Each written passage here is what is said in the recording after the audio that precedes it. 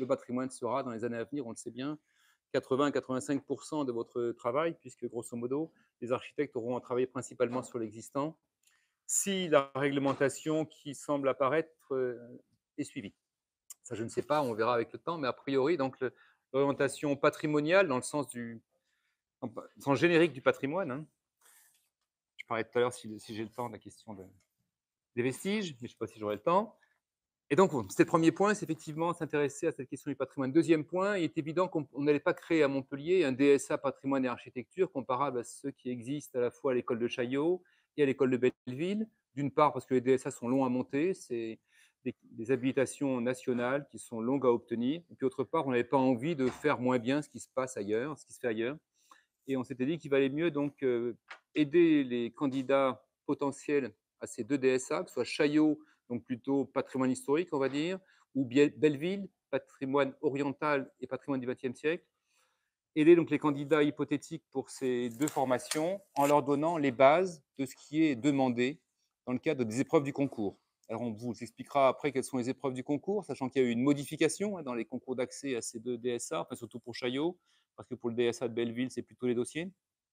Et, euh, et, ces modifications sont importantes parce qu'elles orientent à la fois donc euh, la base de connaissances nécessaires, et autre part, elles orientent aussi la formation elle-même, puisque des éléments qui semblaient incontournables, et dont pourra vous parler donc Emmanuel, qui est quand même un ancien chaillotin, eh bien, la formation a changé, et ce qui, nous paraissait, qui paraissait incontournable ne l'est plus pour des raisons qui sont à la fois liées à l'évolution des techniques, et puis surtout à toutes les questions qui ont à voir avec le, on va dire, le second œuvre. Voilà, donc ça, c'est le deuxième point que je voulais évoquer, c'était cela. Donc, c'est pas un chaillot de province, c'est pas un chaillot bis, c'est tout simplement une aide pour que les candidats arrivent avec un bon niveau. Le troisième point qui était important, c'est que lorsqu'on a pensé à mettre en place cette formation, qui était demandée par pas mal de personnes autour de nous, eh bien, on s'est rapproché du directeur de l'école de Chaillot, qui devait être là aujourd'hui, comme vous le savez peut-être. C'était indiqué sur le, programme annonçant cette, soirée. Eh bien, malheureusement, donc, le directeur n'est pas là, il est hospitalisé. Donc, ce n'est pas lié aux grèves, hein, c'est lié vraiment à un problème médical. Et donc, il s'excuse. Normalement, il nous voit peut-être de sa chambre d'hôpital sur la chaîne YouTube. Je ne sais pas si on a la possibilité de le savoir. Et donc, on fait sans lui aujourd'hui, mais il n'empêche qu'il nous a quand même donné beaucoup d'informations, notamment sur ce qui est attendu à Chaillot. On en parlera tout à l'heure en détail, ça peut vous aider. Parce qu'en fait, ce qui est attendu à Chaillot n'est pas exactement ce à quoi on avait pensé tout à fait au départ Emmanuel.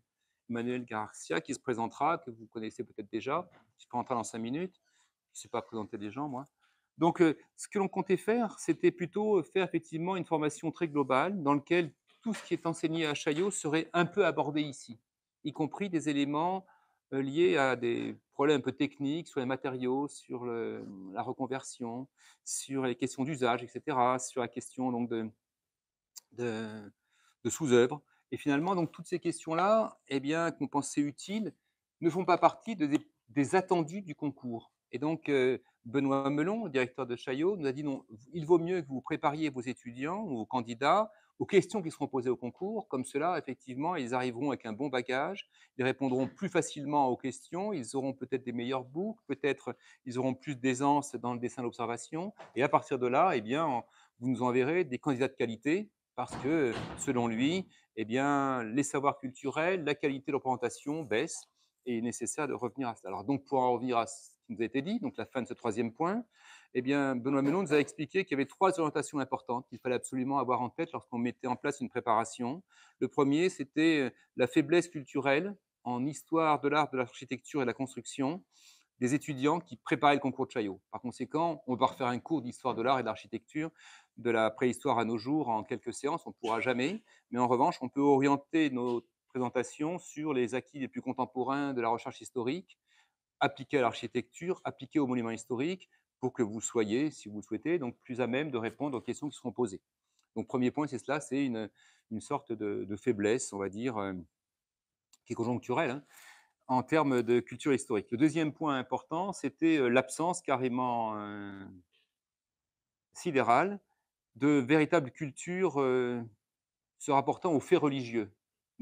Non pas que Chaillot forme des, des prêchis-prêchats, hein, ou bien des, des grenouilles de bénitier, mais simplement, donc, euh, Chaillot forme des personnes qui vont travailler sur un patrimoine qui est très souvent religieux, qu'il soit chrétiens, musulmans ou juifs.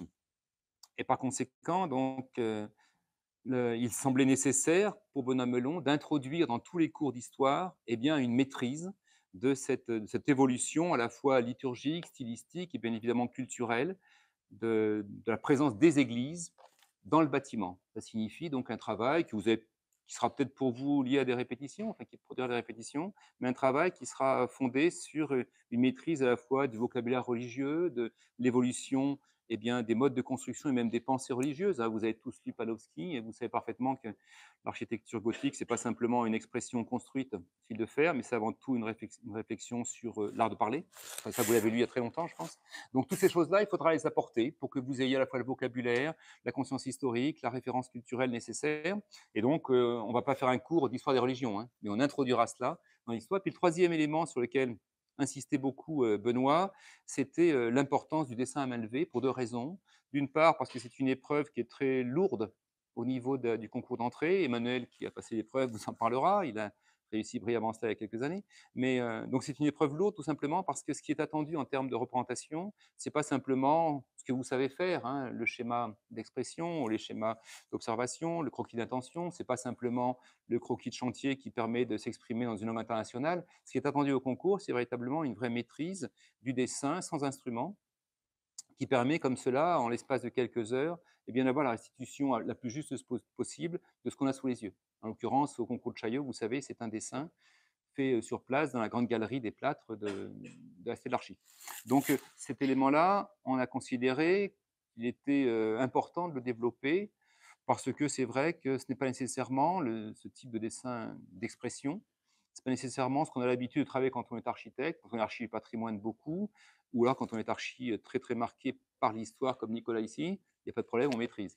Mais tout le monde, pour tout le monde, ce n'est pas le cas. Donc voilà, on, travaillera ces trois options-là. Puis ensuite, il y a toute une série d'éléments qui sont périphériques, qui sont liés finalement donc à ce qu'on pourrait appeler l'histoire de la construction, mais appliquée à la maîtrise des matériaux. Il y a l'histoire de la, réglementation ou de la pensée des monuments historiques. Hein, c'est quoi l'allégorie du patrimoine, dirait François Choé. Et puis autre part, il y a tout ce qui va, qui va concerner donc l'application de ces savoirs pour rendre, pour rendre opérant au moment du concours. Hein, vous savez qu'un élément important de Chaillot, c'est effectivement le transfert entre un savoir général, encyclopédique et culturellement fondé vers ce qui pourrait s'appeler donc la, pratique du projet. Et pour arriver à faire cela, donc on a mis en place, Emmanuel va vous l'expliquer, eh bien un fil rouge qui est finalement donc un projet qui sera, parce qu'après tout on est formé à ça, un architecte, un projet qui sera développé sur toutes les sessions et toutes les semaines de cours. Voilà, donc c'est le cadre général qui nous a amené à faire cela. On pense avoir bien évidemment donc une obligation de sélection, non pas parce qu'on n'a pas envie de tous vous prendre. Hein. On, aimerait bien évidemment donc faire une formation un peu large avec le plus de candidats possible, mais on a des contraintes de coût, des contraintes d'encadrement, de déplacement, etc., qui sont assez constantes et complètes. Et vous savez très bien qu'en ce moment, les écoles d'architecture sont plus ou moins en grève, précisément pour demander des moyens. Ça fait 40 ans que les écoles d'architecture demandent des moyens. Comme vous le voyez, elles sont très bien entendues. Et donc, le, en raison de ces contraintes de coûts, de moyens, etc., de budget, on va devoir sélectionner au niveau de l'entrée à cette préparation. On le regrette, on ne sait pas comment on arrangera les choses, mais on le fera pour le mieux. Et c'est pour ça que certains modules resteront ouverts. Et comme ça, si jamais vous n'êtes pas euh, sélectionné pour l'ensemble de la formation, parce que c'est lourd aussi de faire une formation si longue, eh bien, vous pourrez toujours suivre des modules qui pourraient correspondre à des attentes ou des, manques qui, vous semblaient pointer chez vous. Voilà. Et ensuite, on aura bien évidemment donc la, la possibilité pour vous d'organiser peut-être des, éléments un peu plus pointus en fonction des, demandes qui apparaîtront, parce que comme toute formation nouvelle, on sait très bien qu'il sera nécessaire de réorienter parfois le tir pour répondre le plus possible à vos attentes. Bon, ça, c'est le cadre général, je vais m'arrêter là. Donc, je vais laisser la parole à Emmanuel. Emmanuel, qui vous le connaissez certainement, il va se présenter, mais il est archi du patrimoine, il est enseignant ici, il est chargé justement de toutes les questions qui sont liées à la pratique du projet patrimonial. Et donc, on lui a demandé, puisqu'il a l'expérience de Chaillot, puis en même temps un travail d'agence qui est assez remarquable, que vous connaissez peut-être, notamment une aisance dans tout ce que je viens d'exprimer, à savoir la maîtrise du dessin, la maîtrise de la culture des matériaux, une, aisance historique évidente. Donc, il, a comme, il possède toutes ces qualités, donc c'est lui qui était parfait pour encadrer cette formation. Et c'est pour ça que je lui laisse la parole tout de suite. Il sera beaucoup plus à l'aise que moi pour vous dire ce qui va se passer. À Ok, merci Thierry. Heu, donc, heu, bah, je suis, heu, Emmanuel Garcia, architecte, bah, enfin, tu as tout dit. Non, je vais pas dire grand-chose. Heu, bon, sachant que,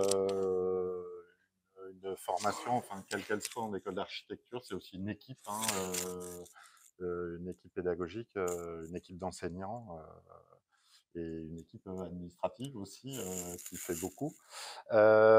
Bon, rapidement, heu, 2- 2 petits, heu, 2 petits slides un peu sur les 2 DSA, heu, mention architecture et patrimoine, qui existent, que tu as nommés.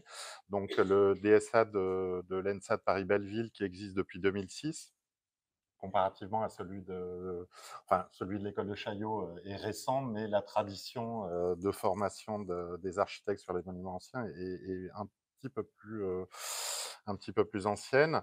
C'est vrai qu'initialement, le DSA de l'ENSA Paris-Belleville était très centré sur les questions, urbaines et de ville orientale dans un champ temporel qui allait du 19e au 20e et aujourd'hui au 21e siècle, évidemment. Avec la réforme de 2009, il y a eu je dirais un élargissement, on va dire, un peu de du champ du DSA de l'ENSA Paris-Belleville sur, les problématiques de conservation et de restauration, et de mise en valeur du patrimoine et du patrimoine, protégé.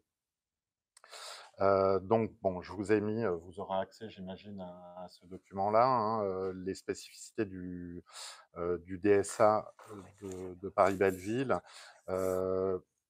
qui se concentre vraiment sur une période de d'époque contemporaine, on va dire et heu, sur, heu, aussi, heu, le projet architectural et urbain.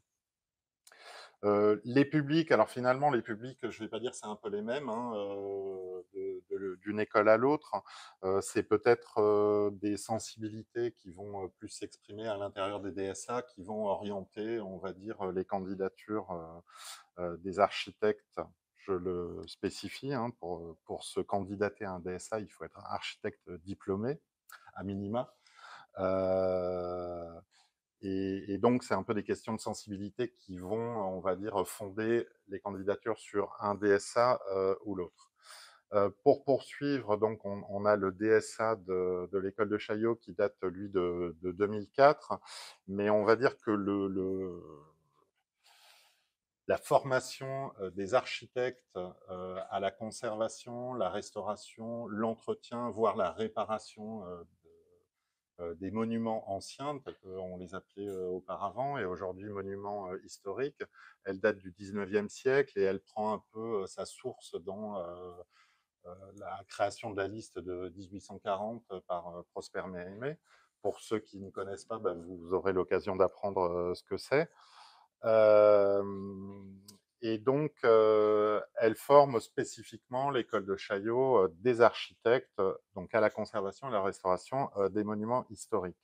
Là aussi, par, le jeu des évolutions, des réformes pédagogiques, même d'échelle, nationale, le DSA, s'est ouvert, et essaye de de faire rentrer un petit peu plus de professionnalisation, on va dire, à l'intérieur de sa pédagogie. Et d'ailleurs, la Cité de l'Architecture et du Patrimoine, toujours, liée à l'école de Chaillot, qui est une des entités de la Cité de l'Architecture et du Patrimoine, offre aujourd'hui, des options de formation qui s'ouvrent, sur d'autres destinataires. Donc vous avez le DSA et puis, vous avez des enseignements, heu, destinés aux maîtres d'ouvrage publics et privés, heu heu, à travers, des sessions courtes. La spécificité de l'école de Chaillot et de ce DSA, c'est qu'elle forme, donc c'est une formation supérieure qui forme à des carrières, notamment des carrières, publiques dans la fonction d'État, heu, où, heu, pour passer le concours des AUE, architecte urbaniste de l'État et spécifiquement, avec l'option, patrimoine, donc pour devenir architecte, des bâtiments de France et qui forme également, au concours d'ACMH, d'architecte en chef des monuments historiques heu, après 10 années, d'expérience, en maîtrise d'œuvre sur, monuments, protégés. Voilà, ça c'est un peu le, panorama et je dirais les, DSA destinataires de, la formation. Plus spécifiquement sur l'école de Chaillot, donc comme le disait Thierry Verdier, il n'y a pas de concours d'entrée sur le DSA de, l'ENSA Paris-Belleville. C'est une candidature sur dossier étoffé et renforcé. pour rentrer à l'école de Chaillot, donc il y a un concours qui lui-même a évolué un peu au fil des, années, au fil des décennies. là, je vous ai mis un petit peu les, intrants principaux de ce concours. Donc, il y a toujours évidemment une phase d'admissibilité, c'est comme ça qu'on dit, mmh. sur dossier. Donc, vous avez un dossier à remplir et un dossier à présenter, un dossier qui retrace un peu votre parcours professionnel, votre parcours académique et qui doit être aussi le reflet de, je dirais, de votre motivation et de votre futur engagement, sachant que alors c'est pas pour vous faire peur, mais la, formation de, l'école de Chaillot, mais comme celle de, l'ENSA Paris-Belleville, sont des formations très chronophages qui demandent un investissement en temps et voire financier qui est conséquent, avec une forme de Graal à terme, bah, qui vous ouvre un, je dirais un champ, c'est ce que tu disais, qui est un champ d'opportunités professionnelles qui devient de plus en plus prégnant dans, je dirais, le grand champ de, de la profession de l'architecte.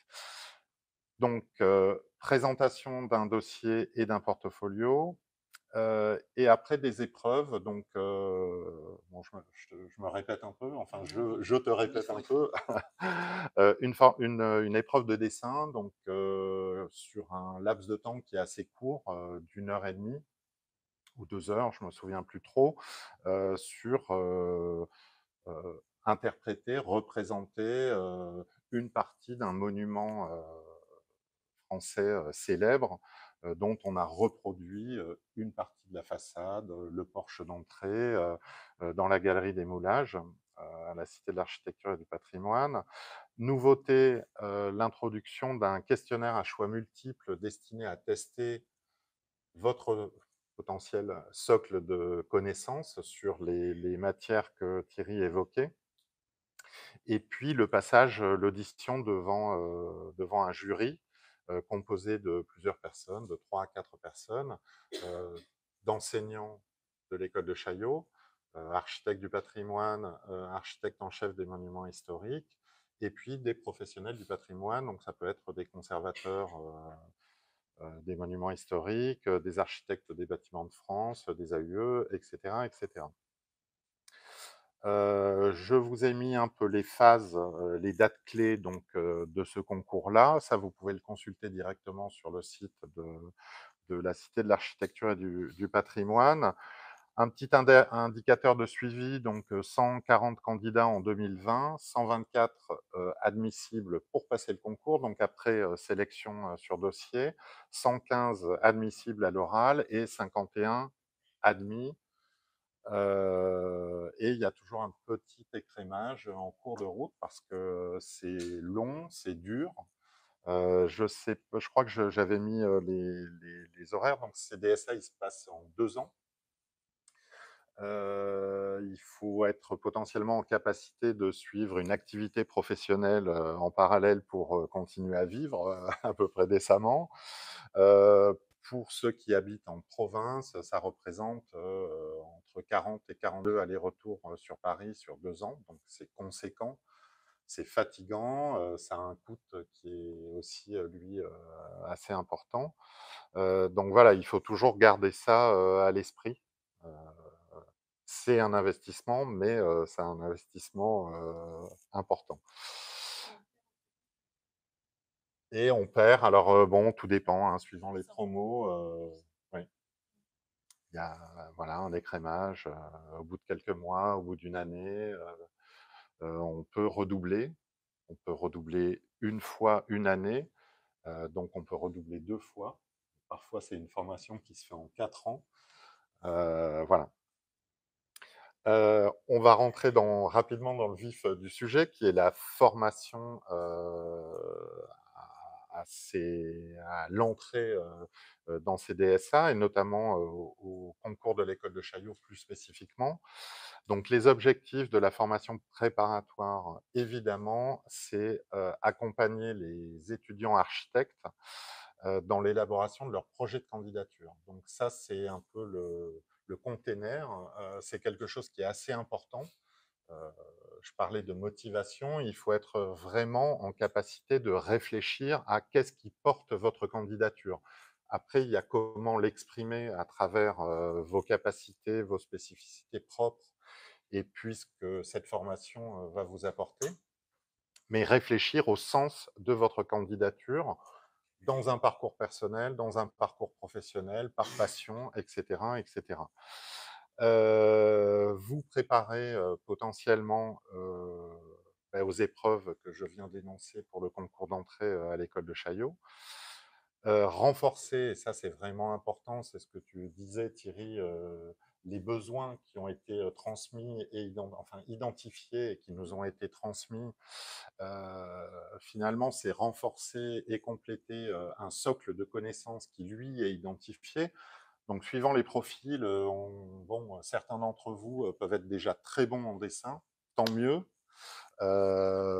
ça vous permettra peut-être de renforcer ou d'accentuer vos connaissances sur d'autres champs structurels, structurant la connaissance, comme l'histoire ou les questions de, de matériaux, de structure de statique, etc. On verra après plus en détail un peu les champs de la formation. Et puis, de manière un peu plus spécifique, élargir le champ des destinataires à travers des modules un peu experts, donc des modules très courts, de formation très courts, qui font partie de la formation que vous serez susceptible de suivre, mais qui peuvent s'adresser à des maîtres d'ouvrage, à des agents de, de collectivités territoriales, de collectivités publiques, qui ont envie de se former spécifiquement sur certaines notions. donc, on l'a évoqué, le public concerné, c'est les architectes, évidemment. c'est des architectes avec une sensibilité, une expérience, je dirais, spécifique sur les questions patrimoniales. C'est vrai que de dire le patrimoine, ça veut tout dire et rien dire. On pourrait dire les patrimoines. Euh, sur les questions patrimoniales. Euh, donc, vous pouvez être passionné par les questions paysagères, euh, c'est une dimension patrimoniale. vous pouvez être très sensible aux questions mémorielles, c'est aussi une dimension patrimoniale. Donc, il n'y a pas de profil type. après, voilà, il ne faut pas être étranger ou insensible à ces questions-là donc architecte diplômé, des étudiants alors diplômés en poursuite d'études. là, on va pas vous mentir, c'est vrai que on se calque un peu sur les prérequis, on va dire, de candidature des DSA, et notamment de celui de l'école de Chaillot, où l'idéal serait une ou deux années déjà d'expérience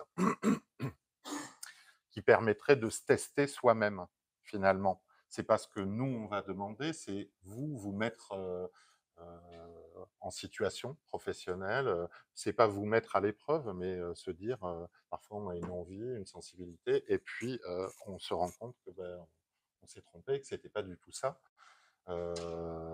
donc voilà, à, réfléchir. Donc c'est pour ça qu'on a dit, en ce sens, la HMO ou le, master spécialisé architecture et patrimoine contemporain qui, existait à l'école jusqu'à cette année, ou voir un doctorat, évidemment, sont des formations qui vont venir illustrer votre votre sensibilité ou votre profil particulier.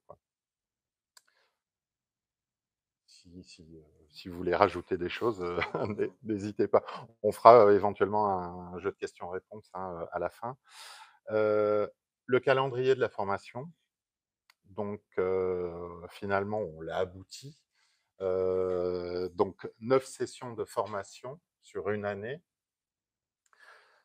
une session de 3,5 jours par mois, du mercredi au samedi, à la matinée du samedi inclus.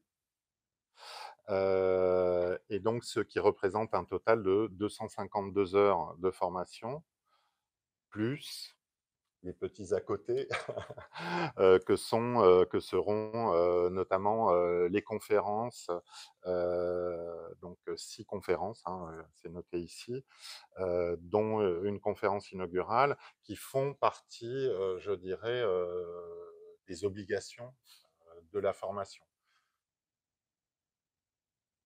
Et puis, une session spécifique pour les étudiants qui présenteraient le concours d'entrée à l'école de Chaillot, qui passerait la phase d'admissibilité, qui se fait au mois de, à la fin du mois de mai ou au mois de juin, et donc qui aurait peut-être, l'envie de se remettre en situation à travers ce qu'on appelle une épreuve blanche, qui permettrait de vous tester vraiment. Il y aura aussi une épreuve blanche intégrée au cursus fondamental de la formation et on en propose une supplémentaire voilà, pour bah, vous entraîner, tout simplement. le déroulement et l'organisation des études, donc sur ces neuf sessions de formation, s'organisent bah, à travers évidemment des cours, donc des cours magistraux, des TD, des TP, je ne sais plus si on dit travaux pratiques. la question de la pratique, notamment au niveau du dessin, c'est un exercice incontournable.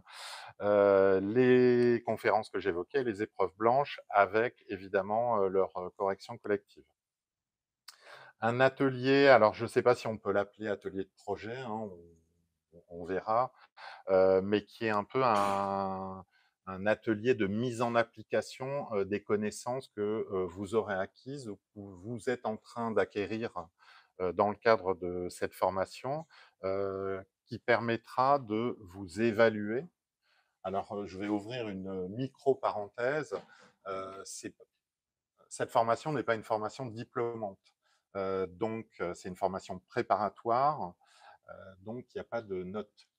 Voilà vous n'êtes pas évalué, enfin, vous êtes évalué, mais vous n'êtes pas évalué dans le cadre de projets, de QCM, d'interro, de devoirs. Vous êtes évalué tout au long de la formation et c'est à travers les échanges que vous aurez avec vos enseignants, ce que eux auront identifié comme force et faiblesse dans vos profils, et ce que vous, vous serez susceptible aussi de formuler comme demande que l'évaluation se fera. L'idée, c'est vraiment, comme je l'évoquais au, début, c'est vous emmener à formuler une candidature cohérente et que vous soyez en capacité de la présenter, là aussi, de manière cohérente.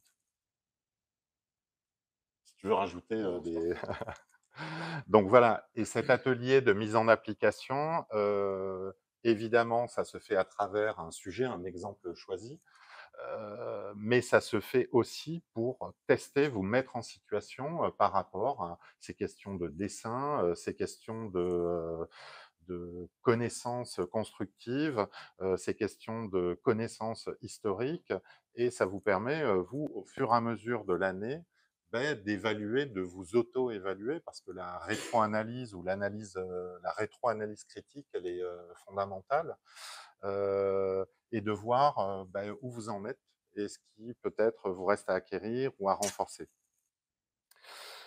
un petit focus sur les questions de, de dessin, enfin, tu en as déjà beaucoup dit, mais effectivement, c'est une donne assez importante on va essayer de donner une place conséquente et de balayer, alors de vous former, former au dessin. Pour les architectes, en théorie, vous savez dessiner.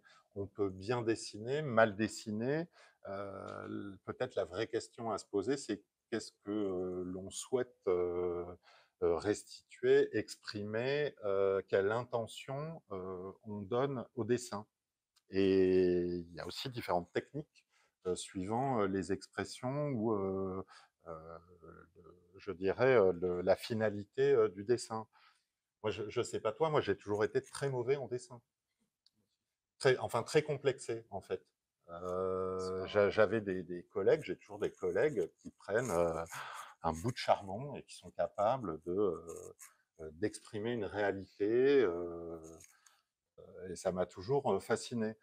Après, au bout de 25 ans de pratique avec un crayon, je sais dessiner mais je suis pas bon. Alors peut-être que je viendrai assister au cours de dessin. donc il ne faut pas avoir de complexe non plus par rapport à cette question du dessin. Au contraire. on abordera les questions de relevé parce que ça, ça me semble important.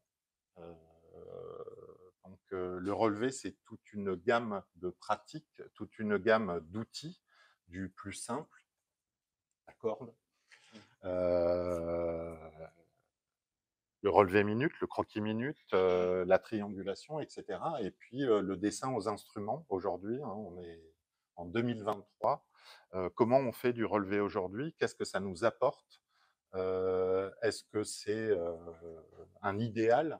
Que l'instrument est un idéal dans la pratique du relevé Ou est-ce que c'est un outil supplémentaire qui vient s'additionner à d'autres outils et d'autres pratiques? Bon, les épreuves blanches, je ne reviens pas dessus. Ah oui, merci. vous avez quand même un portfolio à présenter dans le cadre de, vos futures candidatures. Et finalement, l'idée de renforcer cette pratique du dessin, de lui laisser une part importante, c'est aussi vous donner la possibilité en fin de formation d'avoir un gros carton à dessin et de pouvoir choisir dans les dessins qui vous sembleront les plus représentatifs de votre candidature ou, de votre personnalité, bah, finalement d'avoir le choix des dessins que vous pourrez présenter plutôt que de vous dire oh là là, il faut que je retourne dans, faire un peu d'archéologie euh, dans vos cartons euh, d'étudiants hein, et, retrouver euh, quelques dessins. les épreuves blanches, on les a vues, et puis un cycle annuel, donc ça, je, l'ai évoqué rapidement, un cycle annuel de conférences thématisées, donc on en a une plus cinq, euh, qui eux seront ouverts, alors j'espère pas m'être trompé, euh, mais mmh. seront ouverts à, l'ensemble des étudiants et des enseignants euh, de, l'ENSAM et qui permettra, sous un autre biais, à travers un autre biais, de aussi se familiariser avec voilà, des, thématiques du, du, registre du patrimoine. c'est un autre biais de formation, c'est un autre biais de communication, c'est toujours intéressant. Enfin, je, je ne sais pas si vous avez l'habitude d'assister à des conférences. je trouve que voilà, c'est autre chose que d'être face à un enseignant. voilà, ça c'est grosso modo l'organisation des études vue sous une, autre forme, mais c'est la même chose. bon, trois champs. les champs, je dirais un peu le cœur du réacteur, qui est le champ, euh, enfin ce qu'on appelle le champ structurel, le champ de structuration des connaissances ou d'acquisition des connaissances. Euh, donc on revient dessus, histoire de l'art et de l'architecture, euh, avec des thématiques plus prégnantes comme celle de, du fait religieux, des lieux de culte, etc.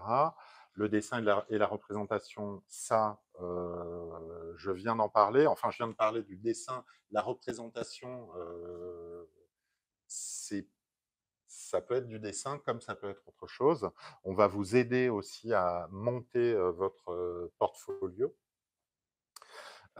histoire des matériaux et des techniques constructives. Donc là, on va balayer, c'est plus une introduction, hein, ou, alors venir renforcer déjà des connaissances maîtrisées. Avec deux, enfin on le verra dans le détail par la suite, et un champ plus orienté recherche, vocabulaire, oralité et écriture. Comment se présenter à l'écrit, comment se présenter à l'oral, mettre en œuvre une capacité à construire un récit par rapport à ce que vous êtes et par rapport à, vos ambitions et votre motivation. les champs applicatifs, donc de mise en application de ces connaissances, dessin toujours, c'est un peu l'atelier de mise en application, les épreuves blanches et des champs un peu inclusifs, c'est-à-dire aussi pour vous permettre de commencer à, rencontrer certains acteurs du patrimoine, voir qu'est-ce que c'est que cet univers,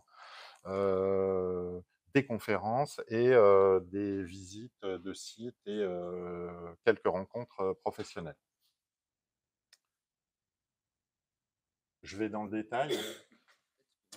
Oui rapidement, bon, vous les avez là, sur ces champs-là. Donc, vous voyez, comme l'avait dit Thierry, sur les questions d'histoire de l'art et de l'architecture, tout ce qui est antérieur au Moyen Âge, finalement, sera abordé à travers une ou deux conférences. et puis donc balayer un peu avec des intrants spécifiques les grandes périodes de l'architecture et de l'art de bâtir, avec plusieurs prismes, ça c'est aussi important. dessiner et représenter l'architecture, donc vous voyez, bon, ça reprend un peu ce que je, vous ai dit, un peu plus dans le détail. Hein, perspective, croquis-minute, relevé, le trait et la valeur, hein, ça c'est important, l'ombre et la lumière, dessiner d'après le plâtre, merci Thierry, pourquoi? Parce que vous allez être mis en situation, si vous vous destinez à rentrer à l'école de Chaillot. C'est pas simple, hein, c'est un autre exercice. quand on est assis sur une pierre en plein soleil avec une petite brise, il y a une dimension bucolique qui peut vous inspirer. quand vous êtes en phase concours avec une charge de stress énorme et que vous vous retrouvez devant le portail de Conques, euh, et que vous vous dites qu'est-ce que je représente en une heure et demie? Est-ce que je vais représenter les apôtres, le détail de ce que tient Saint Jean dans sa main, ou est-ce que je vais donner une vision globale?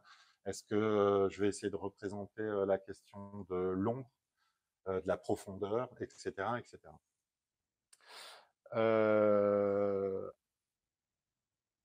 Dessiner pour comprendre, dessiner pour bâtir. Ça reprend un peu ce que j'évoquais sur le, dessin aux instruments également. Introduction, alors très long, introduction à l'histoire des matériaux et des techniques constructives. Il y aura deux pôles, un pôle matériaux. Aujourd'hui, on construit beaucoup avec des matériaux composites, mais qui finalement trouvent leur genèse dans des ces mêmes matériaux beaucoup plus anciens, hein, ne serait-ce que pour parler des, bétons.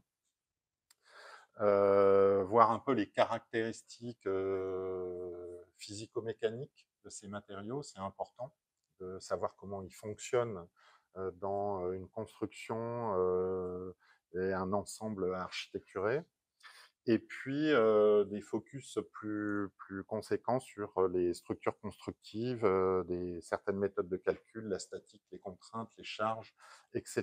etc. Tout ça pour vous emmener à commencer à, à fonder une culture, alors pas du désordre, mais plutôt une culture du diagnostic. Et puis sur le, champ de la recherche du vocabulaire, oralité, écriture, les questions de recherche documentaire, ça c'est important. Hein, faut se former, se reformer, se renforcer, parce que c'est un champ très très vaste qui vient alimenter vos connaissances en continu, et d'autant plus lorsque vous travaillez dans le champ des patrimoines. Et puis des petits intrants spécifiques sur le vocabulaire institutionnel spécialisé, la question des jeux de rôle aussi dans les acteurs que vous serez emmenés à rencontrer, et puis plus sur ces questions de construction de récits, construction de votre candidature, en poussant un petit peu sur aussi, en explorant un petit peu les questions d'éloquence et de structuration du discours. Bon, pour les champs applicatifs, je, voulais un peu, je fais un petit focus sur le carnet de croquis, ça c'est important. Pour vous obliger à dessiner, on va vous demander voilà, des carnets, vous avez envie que ça soit sous cette forme-là, mais des carnets de croquis tous les mois. 15 fois 9, vous avez déjà en fin de parcours une bonne pile et qui est utilisable. Pour finir, un tout petit, alors c'est aussi un work in progress, l'idée c'est de thématiser chaque session, de lui donner peut-être une petite coloration spécifique, certains matériaux, une session de trois jours et demi, vue avec des enseignements qui vont être un petit peu dédiés à cette coloration et qui vous permettront d'aborder les, grandes lignes de la formation et aussi de, des dimensions patrimoniales à travers des prismes spécifiques.